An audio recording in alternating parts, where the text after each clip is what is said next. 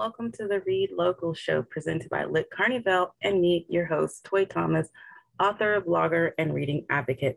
I'm so excited to share today's guest with you. Miko Marsh focuses on faith and self transformation. Let's meet Miko Marsh. All right. All right. I'm so glad to have you here today, Miko. How are you doing? I am well. Thank you for asking. It's nice, nice, bright day. It's warm. It's not raining. I know this. It's like it's yesterday was the first day of spring, and it you know it feels pretty good. So that's awesome. Go ahead and tell our viewers a little bit about yourself. Okay. Um, my name is Miko Marsh. Um, under Miko, I primarily write nonfiction and children's stories. Uh, I also write poetry and contemporary fiction under Obelia Akanke. Um, I've been writing for a while. So, in addition to writing, um, I'm getting ready to retire from childcare. Uh, I'm an audio describer for blind and visually impaired patrons. And I'm also a marketing and revisions editor with New Degree Press. So I try to help other people get their book babies out. That's awesome. I love to see um, a resume like that because it shows that you have many, not only many different interests, but many different skills, and you're out there helping other people. And I think that's great. yeah, that's that's kind of my uh, pretty much why I do what I do. Uh, when I put things out, it's I want to grab that opportunity to to give something back, either to teach, to put a lesson in, or you know, to share what I've learned. They may not necessarily agree with it, but this is what I've gotten so far. If it helps you, great. If it doesn't, well, you know, just take it with a grain of salt and maybe it can help you the next time. I, I love I love that mentality. I think I too try to help people. Um, again, like you said, if, if it helps, great. If not, you take it with a grain of salt. I like I like that. All right, so I want to get into the first segment of my interview um, process. I start with what's called the open book, and this is where we kind of get to know you as a reader, um, or whether or not you are a reader. So my question for you today is is this the case now, or has there ever been a time where you didn't really enjoy reading? Yes. Uh, and I have periods of time where that comes and goes. Um, I am probably in that area now. I enjoy reading for my authors right now because I'm reading and I'm learning about them in the process of of uh, working with their books, but I do a lot of audio. So I listen to audiobooks and seminars and workshops. So there's a lot of uh, you know to listen and then to write it down. And with uh, because I do a lot of I read a lot of articles. Mm-hmm. Uh, I read a lot of nonfiction. I read a lot of nonfiction and uh, self help things dealing with caregiving, uh, social services, because that's also where my um, my degree is originally in psychology and minor in counseling.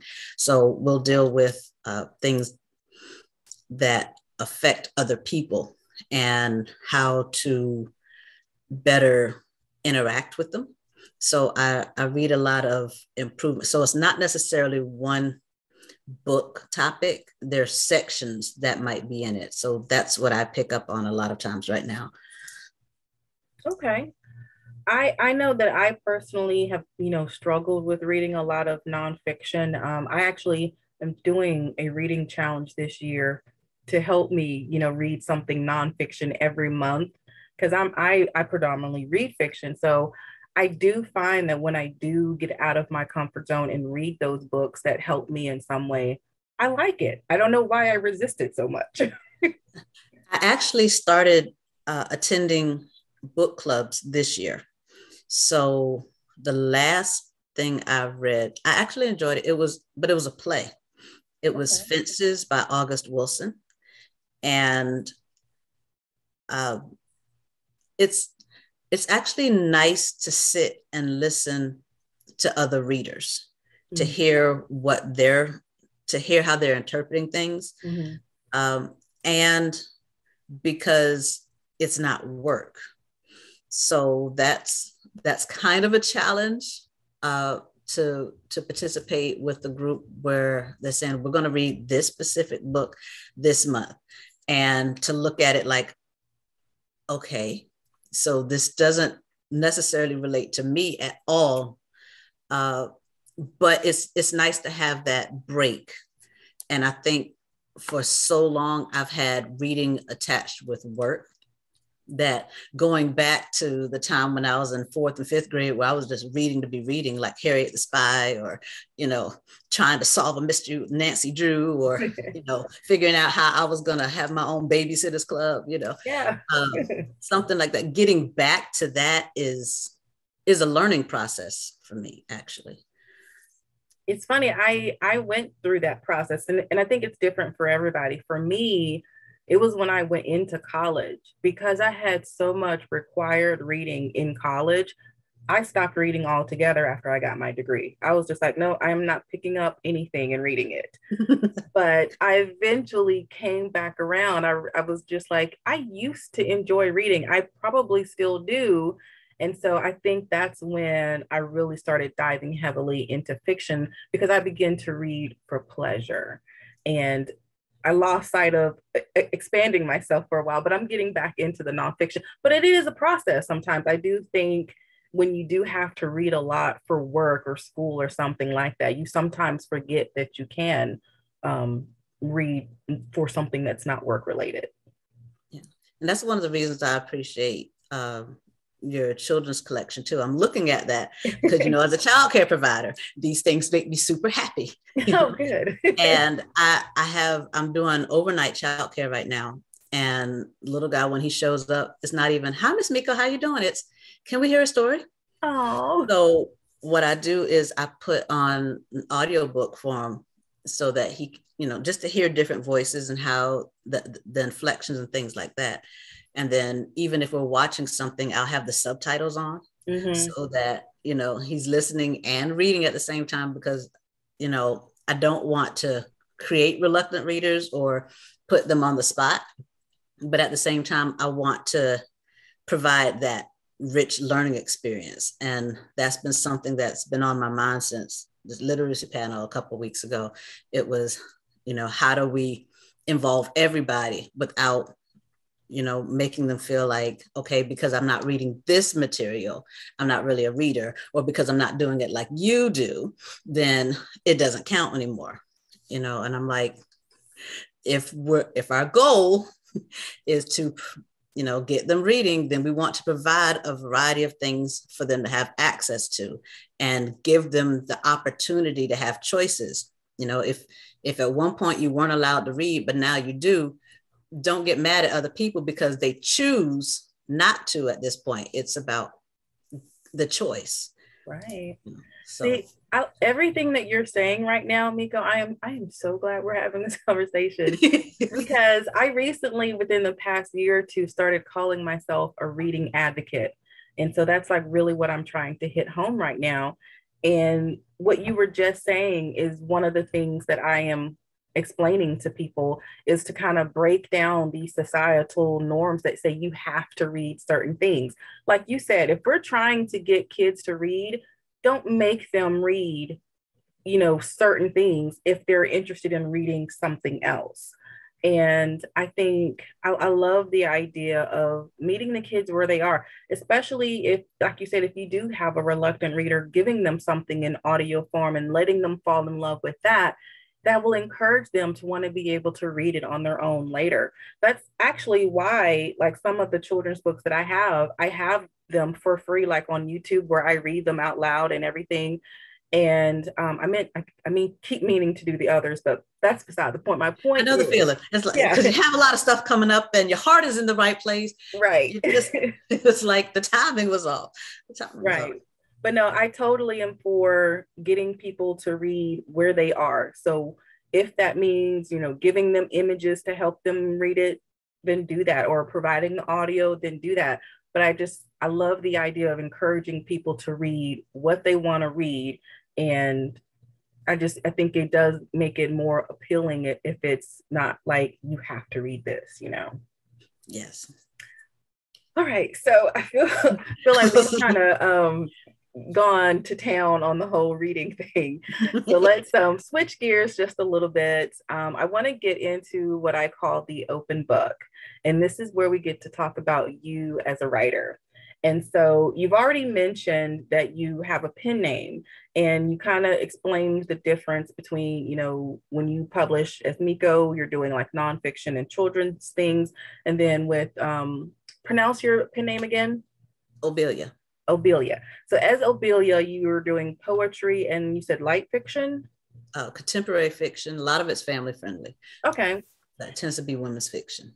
So how did you like come up with you know deciding to split these two parts of, of your writing and how did you come up with your pen name okay well the pen name was a spinoff of uh, i used to go to a legal board and we would discuss uh, family law things up there um, but sometimes it would get a little heated so one of the ladies created a spinoff so that we could take all of our arguments over there. And I I came up with the name Obelia that because Obelia is Greek for pillar of strength. Because sometimes I'm saying hard things. I'm saying things that people don't necessarily want to confront, but I have to put it in this form because I don't think you got the point when I was trying to be nice. Right. Um, there was a middle name, but I don't remember what it was. It was Hawaiian and it was it was pretty, but I don't think I was like, I couldn't remember what it was. I don't know why I gave it a middle. But Akanke is Nigerian for to know her is to love her. Oh, because if I am saying these things, typically I'm not trying to be malicious. Mm-hmm. Uh, I am doing it because I feel it needs to be said, but it's because I care enough to share that information with you. So I used that when I started performing in Japan. Um, I don't think I did it beforehand, but I, I know I performed like that in Japan. And several years later, I was still I was still using that name, but people were recognizing me from Obelia, so they remembered my poems that way.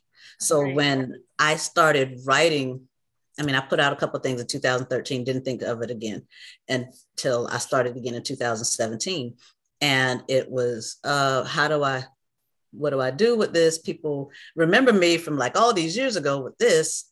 So I just kept poetry and fiction with Obelia. And nonfiction, I figured I'd use my name because it's nonfiction. you know? and, and I was always already providing childcare. So when I started putting out childcare topics, it was just easier to say, hey, you know, and to, point that to parents uh, and they typically have different different purposes. Uh, with Miko, I tend to write uh, because I ran a, a, a home based Christian childcare, and I do a lot of uh, Bible study topics. So in this, I tend to deal with self help, self transformation, Christian related topics, childcare related topics, and because working with children, it just kind of spun off into children's children's books. And because I operated a business, I, I was talking about business things. With Obelia, I am leaning more towards the social services side. So I tend to draw a lot from my direct care experience where I worked in behavioral health settings. So I've worked with people who've had disabilities, I've worked in homicidal, suicidal units. Um, so I'm that person that's running up and down the hallway trying to keep people from having an opportunity to kill themselves or their roommates or nurses, you know, and yeah. we're just we're just talking with them, observing the behaviors and things. But that's also the side where I tend to talk about uh, anything that amuses me to uh, male sexual abuse or teen suicide. I'm dealing with things that we know are out there, but either we don't necessarily talk about it or a lot of people have a preconceived idea about what should be happening. So when I'm I'm dealing with things with abuse, you know, you hear those questions like, why didn't you get out earlier? So right. if I'm writing from the perspective of an emotionally abused wife, you can see where my head is and what I'm thinking. So I'm hoping that when people read things like this, and they're not always heavy, but they're they're meant to put a, a lesson in there just so you understand and have a little bit more compassion and that you're you're a little bit willing to extend people a little bit more grace because you want to say what you would do in that situation but when you've been dealing with something for several years it's hard to think outside of the situation that you're already in. Wow i i i, I can relate to that in some ways. Some ways i can't but i still i guess am like inspired by it. Um you know having those two different personas you know you are who you are you do the, that's why it's nonfiction. And then having this other persona that allows you to dig a little bit deeper and explore some things um, like you say um, not necessarily being nice about it but um, I, yeah, I, I, have a, I, I, have a couple that are that way. Well no i mean i, I get that. Um, I've, you know, toyed with the process of the possibility of introducing another tip, a pen name. I have one, um, but um, because I do think sometimes you have to have that separation. But then again, sometimes um, every every person is different. So um, if if you're the kind of person who, who everything is perfectly in line, then you don't need that. But sometimes, from a reader's point of view, I think it's good. It it gives them the confidence in making a choice. You know, if I want to read something that I know is going to be more self help, I'm, I'm going to read something from Miko. If I want to read something that I, you know, think is going to be a little bit more challenging, um, you know, I'm, I'm going to read something from Obelia. So I, I like that. And it, it, was a challenge actually, because, you know, we, th- we go through those debates. Am I going to use a section name? Are you going to know me? Am I going to use like a picture? How quiet do I want this to be? Right. You know, and I I was concerned because I feel like people who meet me as Obelia don't have a problem with me as a writer as Miko. But sometimes people who come in and meet me as Miko are kind of thrown off when they read stuff from Obelia.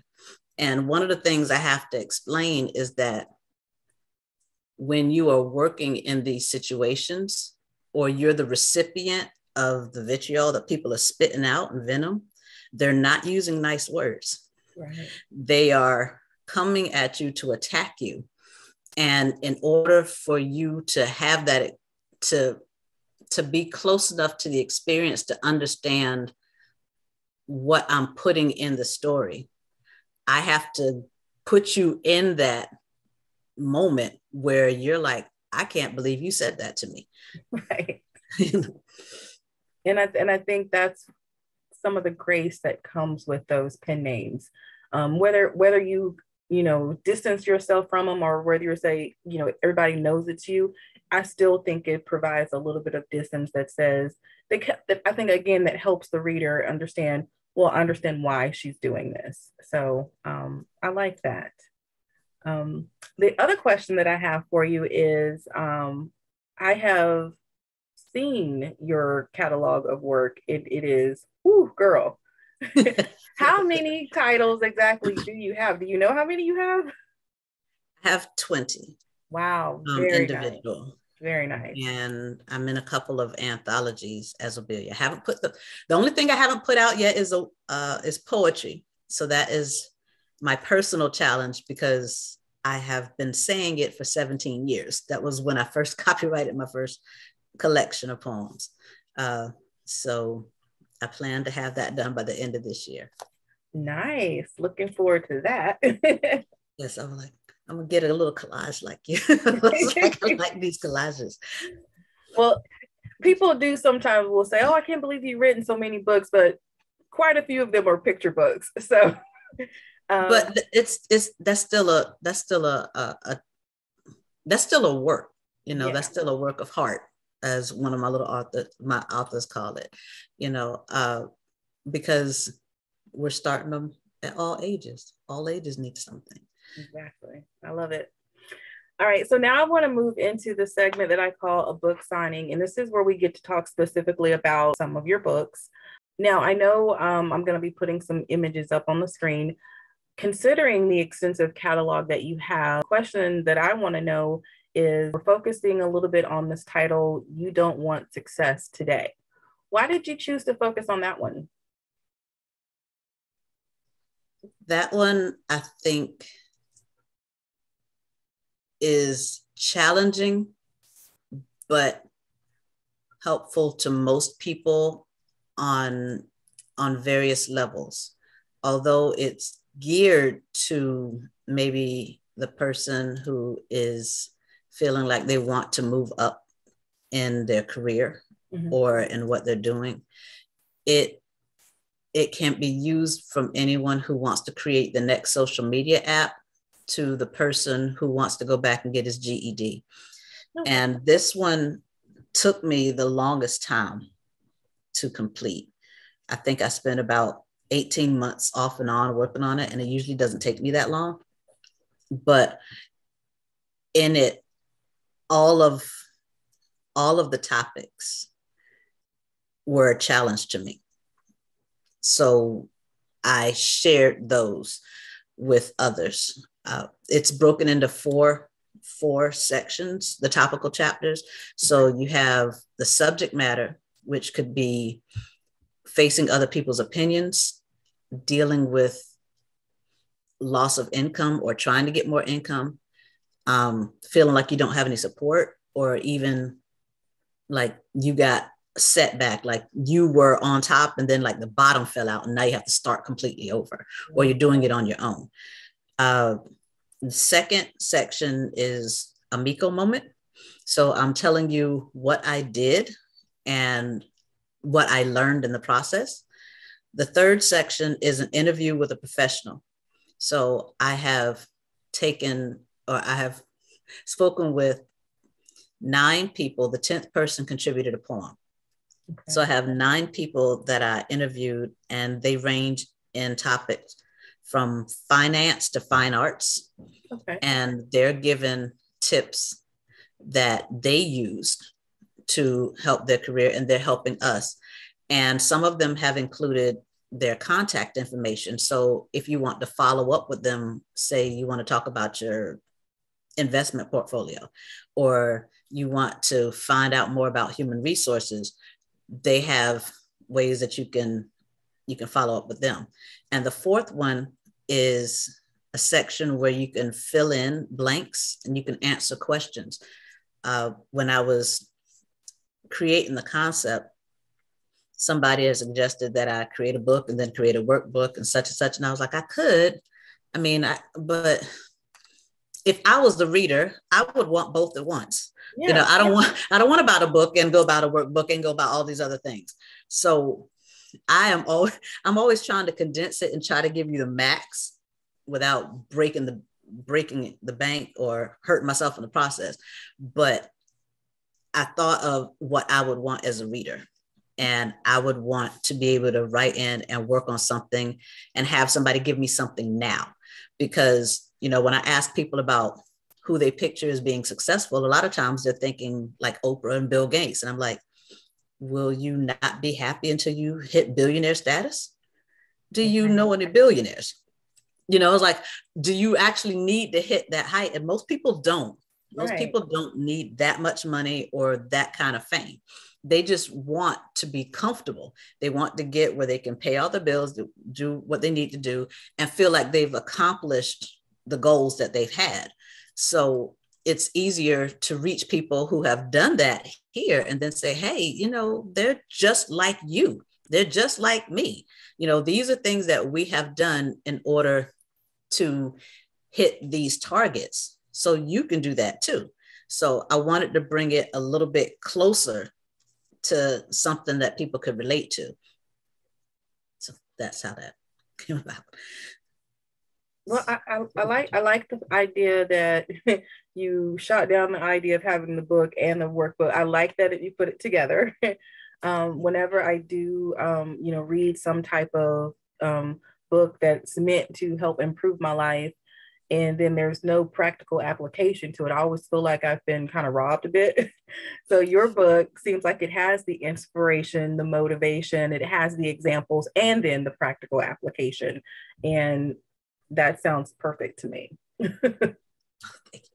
so like I get I get a lot of flack sometimes for it because the books are like, uh, I mean, it's it's really weird the way some some publishers won't let you put some things out just because of I'm like this this isn't a, a, this isn't like a drawing book or you know like one of the activities. It's primarily information. It's just I have some note space in here for you just in here on this page yeah which so. that actually brings me to my next question um, I wanted to talk a little bit about your publishing journey I, I think nowadays, even traditionally published authors are also self publishing.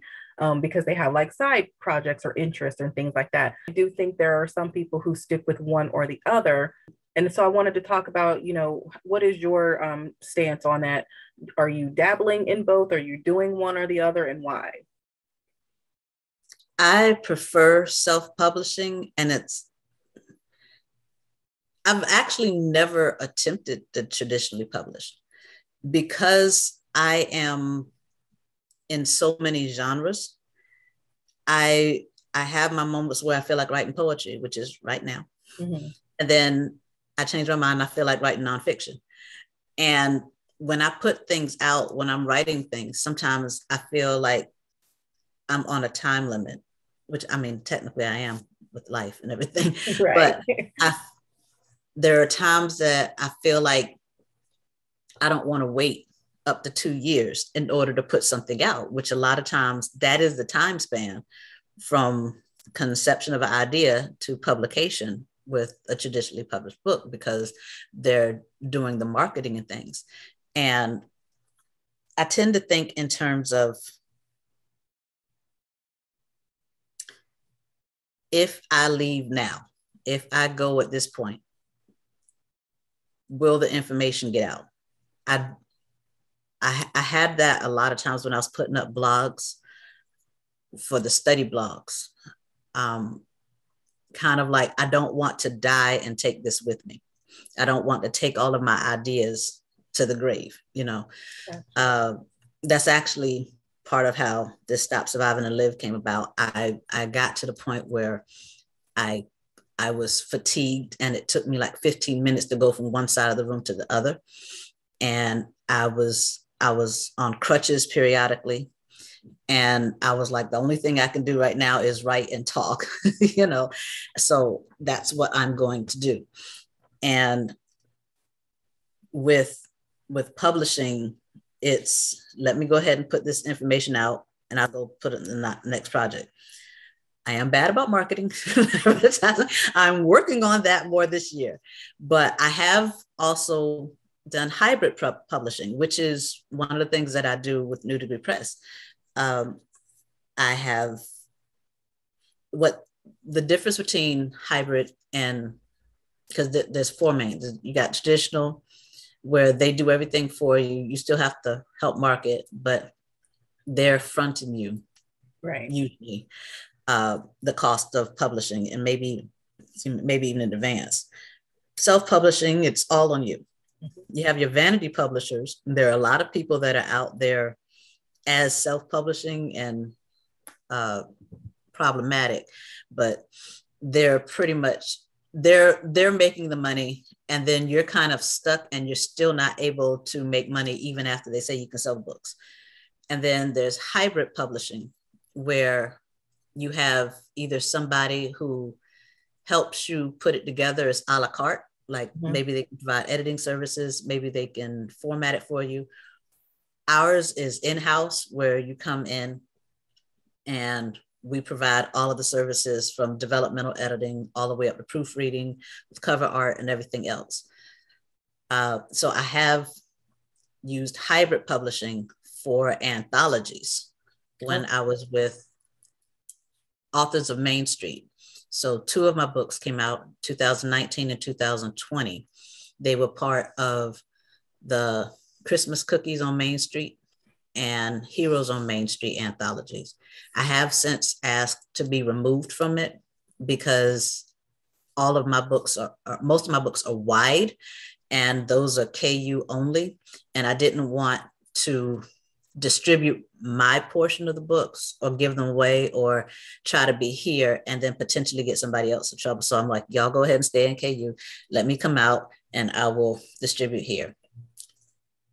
So I feel like there was something else I was supposed to say there, but no, I mean you you covered quite a bit. Um, you know, it's funny that you mentioned right at the end, you know, um, getting well ha- wanting to be pulled from those anthologies, you know, because you're wide. Um, I when I had started out, I was publishing wide, and then um, for a while my focus shift, and I went exclusive for a number of years just because it was easier. And I'm since in the past I would say, year or so, been slowly um, going back through the process of publishing wide again, because it, it takes time. If you are in that exclusive contract, you have to wait for the contract to run out. Then you have to, you know, work on redistribution and all that kind of stuff. And so I'm going. And that's usually through- when you get people that don't have KU or they they can't purchase to. And for people who are asking, it's, it's Amazon exclusive, uh, yeah. Kindle Unlimited. Yeah. Uh, but I had people who could, because of where they were located in the world, they couldn't purchase something from Amazon. And I was like, really?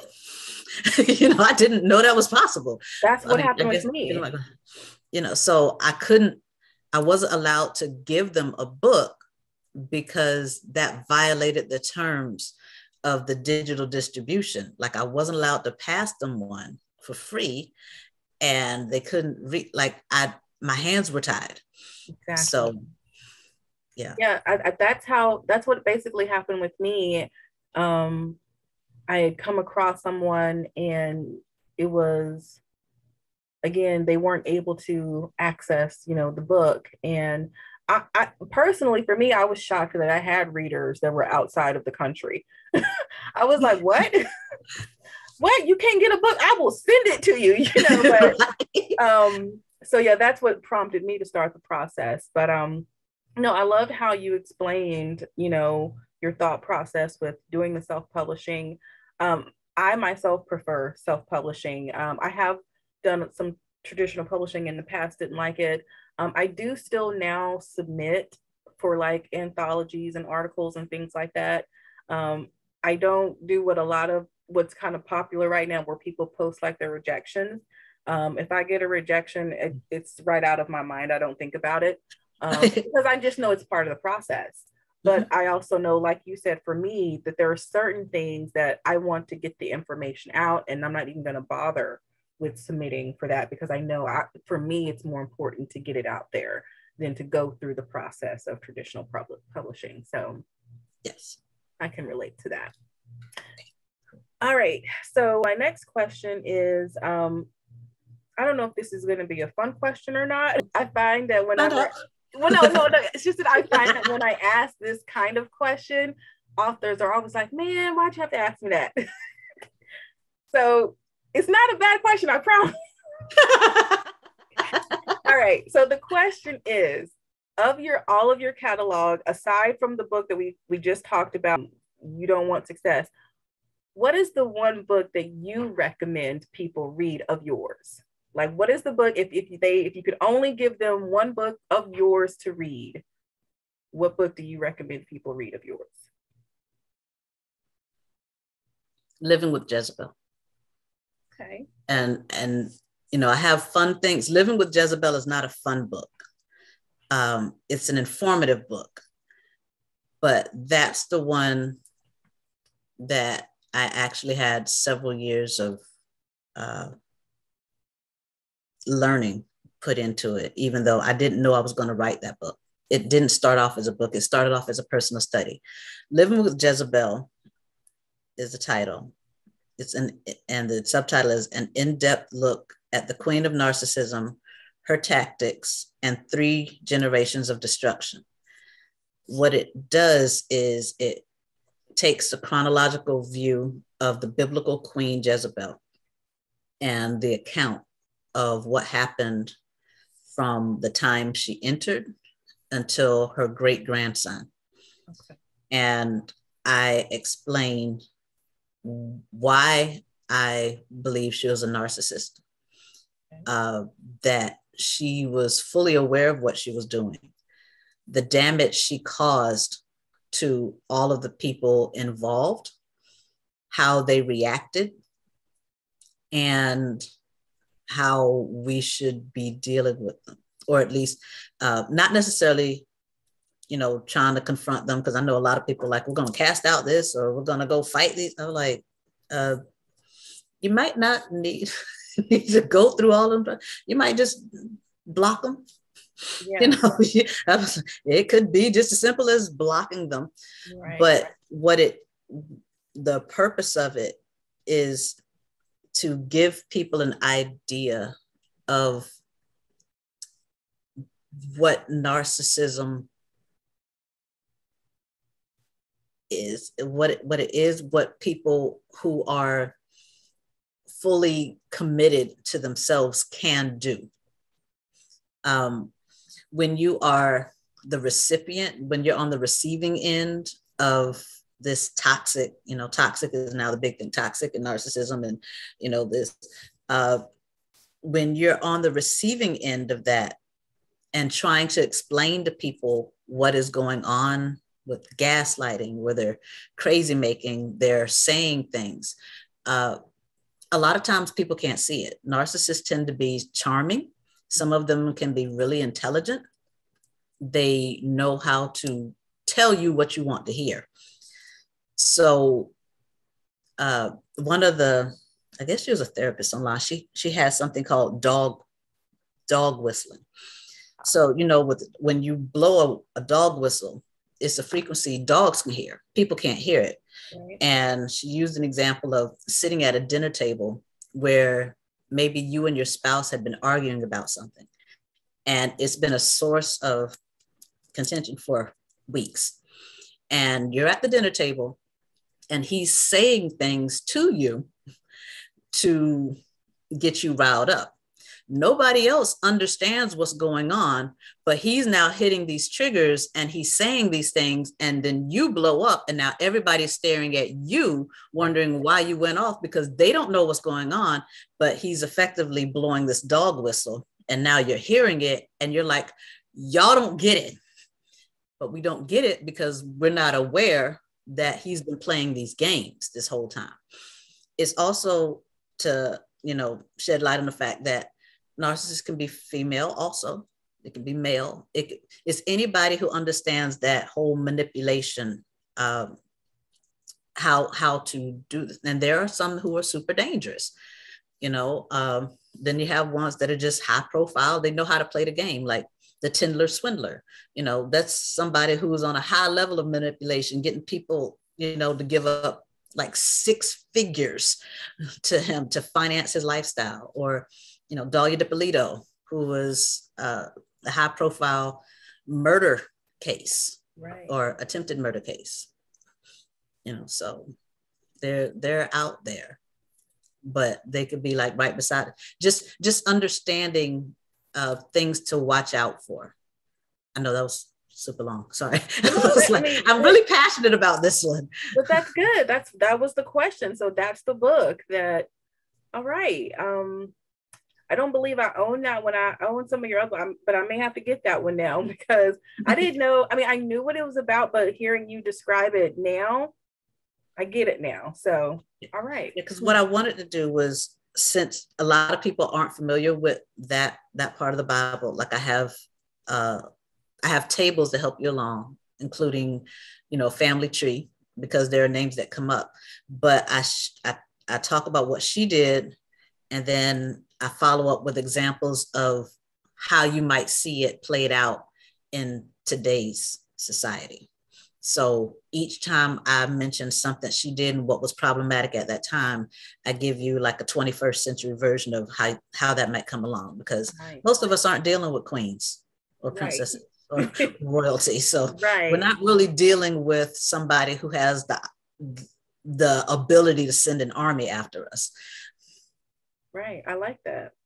Very nice. Definitely gonna have to check that out. All right, so now we're going to move into the last section of this interview. This is what I call the silly section.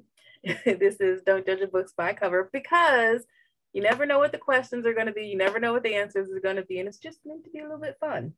Pop quiz. exactly. So the first question is um, Is there a talent or a skill you've tried to master, but just realize is not meant for you? And I'll just go ahead and tell you that mine is singing. Um, it does, there's, I know everybody says it's one of those things that you can learn, but if you're tone deaf, you can't learn that.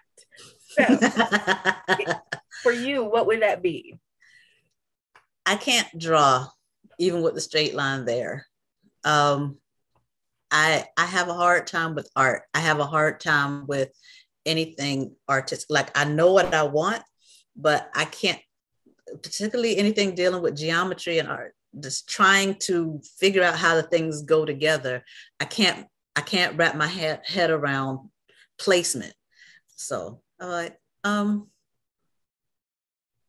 who here would like to volunteer to help me? Have you ever had like art or drawing lessons or anything like that? I did a couple things off the off videos and I was like, yay, I did, I did, I did the little face and things, but it, it doesn't stick. Gotcha. Yeah, I was the one that when given the option between art and music, I went to music, which is why I can I can write you a song, I can sing some stuff along with it. I, will play the piano, but you want me to do like I don't like to feel a construction paper. I don't write with pencils if I don't have to. I I did I took my math notes in pen. Wow. You know, and they were like, "Are you sh- hey, I'm I'm certain it, if it's wrong, I just cross it out, but I'm pretty sure it's right. you know, because I don't want to mess it up. Nice. I want my paper to look nice. well, I, I, like that. I couldn't even imagine trying to take notes in pen. I, that would, oh my goodness, that's terrifying to me. but everybody's different. But I, that's what I, I love to like that. I think that's so cool to learn that about you. okay, so this next one is kind of a fun one too. so she's already laughing because I'm thinking about my like I know like me. So when it comes to visual media, let's say streaming does not exist. This is before the time of streaming. It never will exist. What do you prefer? Blu-ray DVD, VHS beta, or film?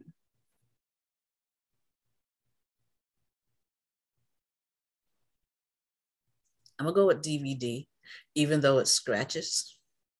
I've never had a Blu-ray, which is always frustrating when I go to the library and I check out something and I think because I've seen the little disc, I get it home and it won't play.